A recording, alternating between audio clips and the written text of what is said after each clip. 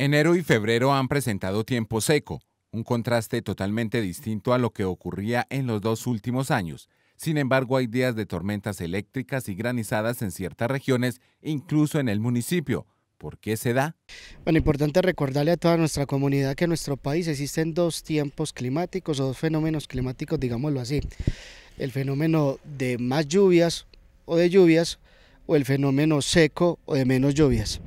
Entonces, eh, en este momento, en este periodo, en el primer trimestre, lo que tiene que ver con enero, febrero y marzo, empieza la transición de la primera temporada o el fenómeno seco o de menos lluvias, eh, digamos que afecta a varias regiones o varios lugares de nuestro país.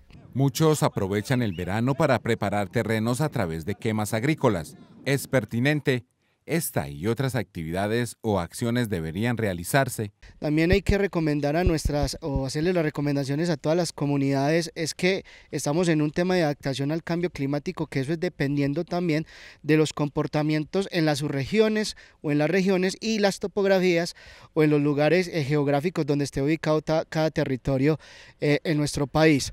Eh, las recomendaciones es evitar realizar quemas para el tema de preparación o expansión de terrenos agrícolas.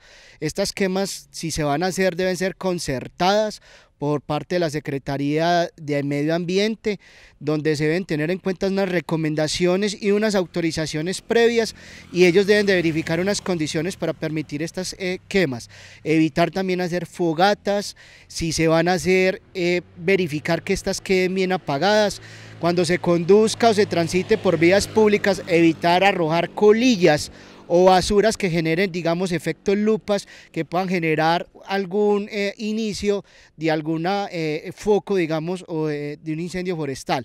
También importante cuando se presente, digamos, estos incendios o se aviste por parte de la comunidad este tipo de fenómenos o emergencias, estos incendios, eh, avisar inmediatamente a los grupos de socorro, en este caso al Cuerpo de Bomberos a las líneas 314-885-8550 o a la Corpuraba o también a, la De Medio Ambiente. ¿Para qué? Para entrar a hacer las fases de verificación y hacer estos controles lo más pronto posible para dejar, eh, evitar perdón, que esto, digamos, eh, se nos salga de las manos o que el incendio coja mayor fuerza o una mayor expansión.